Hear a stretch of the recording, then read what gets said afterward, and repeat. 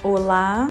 Hoje a Procimonelli trouxe a história O Pacto do Bosque.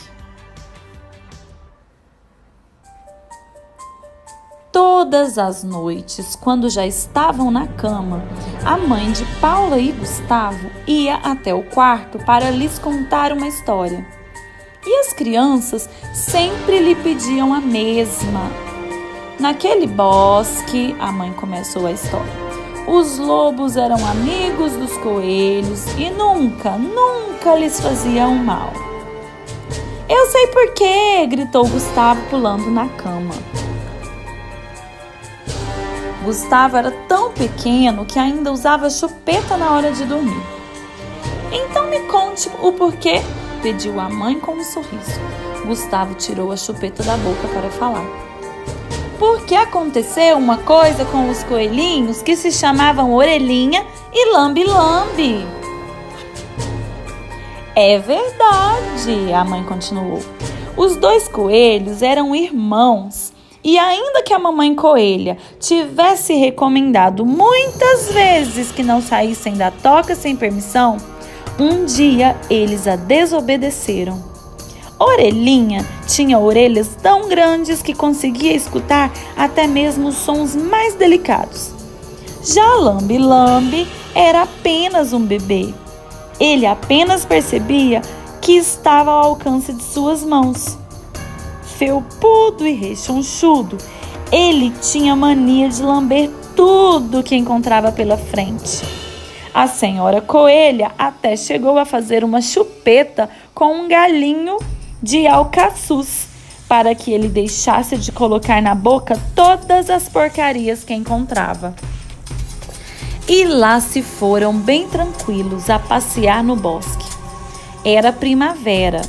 Havia tantos pássaros a cantar e as árvores tinham folhas de um colorido tão intenso que Orelhinha e Lambi-Lambi nem se deram conta de que se afastavam do caminho e acabaram se perdendo. Logo anoiteceu e com a escuridão o bosque se encheu de perigos. Orelhinha, que era o mais velho, pensou que deveria se esconder até amanhecer. Estavam procurando um lugar onde dormir quando ouviram o choro de um animal. Pobre de mim! Alguém lamentava. E agora? O que será de meus filhotes? Os dois coelhinhos se aproximaram na ponta dos pés e se espantaram com o que viram. Deitada na relva estava uma enorme loba cinza. Tinha uma barriga imensa, pois estava a ponto de ganhar uma matilha de lobinhos. Enquanto se queixava, seus olhos não paravam de lacrimejar. Por que você está chorando? perguntou-lhe Orelhinha, tremendo de medo, pois pensava que seriam devorados. Como não chorar se estou cega? E então lhes contou que ao entrar no pântano dias atrás havia perdido a visão e como faria agora para alimentar e proteger seus lobinhos quando nascessem? Lambi Lambi era ainda muito pequeno para entender as tristezas da vida. Mas ao ver tantas lágrimas brotarem dos olhos da grande loba cinzenta, não resistiu e foi se aproximando dela. Ele tinha mania de lamber todas as coisas. Se via uma flor, logo começava a lambê-la com todo cuidado, para não estragar suas pétalas. Quando via um passarinho caído do ninho, logo o enchia de lambidas. Se via um caracol, lambia sua concha até que ela ficasse coberta por uma espécie de orvalho de chuva. E antes que sua irmã Orelhinha tentasse impedi-lo, Lambi Lambi já estava ao lado da grande loba cinza a lamber-lhe os olhos. Assim que retirou das pálpebras da loba todo o barro que havia provocado sua cegueira, ela recuperou a visão. A primeira imagem que a loba teve diante dos olhos foi a dos dois coelhinhos que a haviam ajudado. E eles lhe pareceram tão bonitos que nem lhe passou pela cabeça a ideia de comê-los. Muito agradecida, a loba os abrigou junto à barriga e lhes aqueceu durante a noite. No dia seguinte, acompanhou-os de volta à casa. Quando meus filhos nascerem, voltaremos a nos encontrar, disse a loba ao se despedir. E foi o que aconteceu. Os lobinhos nasceram e, quando começaram a andar, foram ao encontro dos coelhinhos. Eram cinco no total. E assim que viram Orelhinha e Lambi-Lambi, começaram a brincar com eles.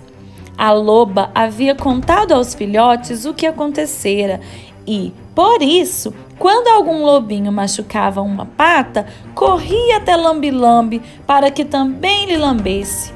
Foi assim que o pacto do bosque foi selado e os lobos deixaram de perseguir os coelhos pensavam que a saliva deles tinha um poder mágico de curar qualquer ferida.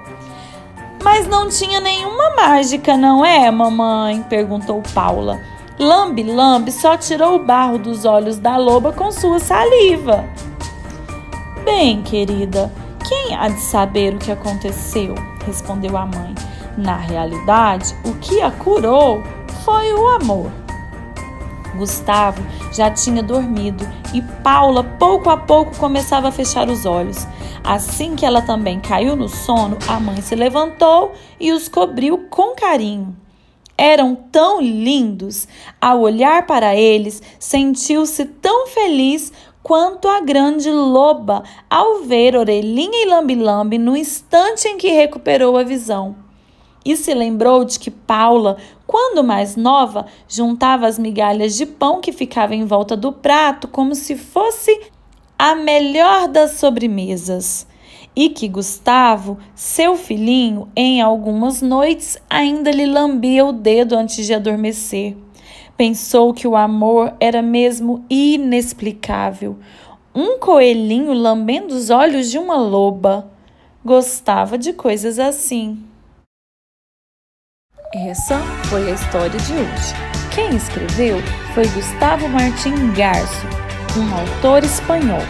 Quem ilustrou foi a Beatriz Martim Vidal, também nascida na Espanha. Um beijo e até a próxima!